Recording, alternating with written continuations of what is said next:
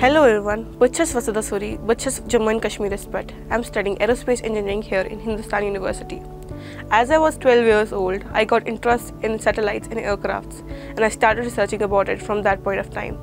When I was in 12th standard and that was the time to get me admitted into a university, I got to know about this university called Hindustan University which was best for aerospace and aeronautical engineering. Coming here, I realized there are a lot of facilities that I was missing out there that were there are 14 aircrafts and like three simulators in which we can work physically and learn more. Coming here, I have met with a lot of foreigner students whom I am friends with now. The first thing that, my, that shook my mind was coming here from north to south. Was, will it be possible for me to cope up? Will I be friendly with everyone? Will they be friendly with everyone?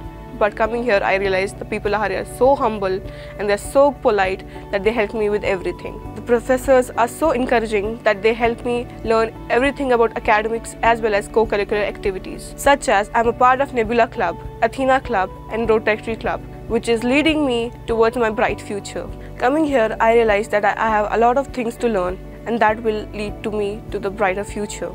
Professors here helped me learn each and every bit about it. The facilities here are so empowering and so encouraging and so developed that are not even in any other part of India.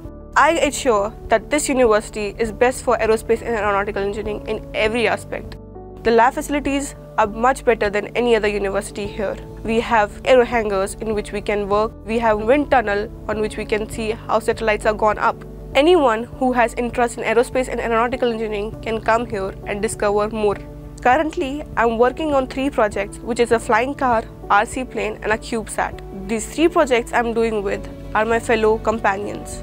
They're not from India, but as well as from other parts of the world. I'm friends with everyone here now, and I myself believe that if you meet persons from other nations as well, your personality develops. At the last, I would like to say the university is Warya Waryazal Asal, and I would suggest my Kashmiri and Jammu Kashmir friends to come and join here. Thank you.